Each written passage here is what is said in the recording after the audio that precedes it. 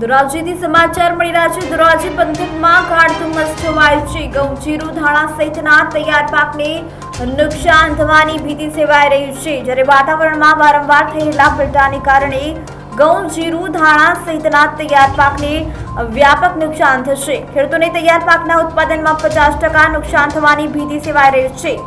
વાતાવરણના પલટાથી ખેડૂતોમાં પણ ચિંતા જોવા મળી છે. ધોરાજી પંથકમાં ગાઢ ધુમ્મસને કારણે વાતાવરણના પલટાથી ખેડૂતોમાં ચિંતા વધી છે. નુકસાન થવાની ભીતિ પણ સેવાઈ રહી છે. તૈયાર પાકના નુકસાન થવાની ભીતિ પણ સેવાઈ રહી છે.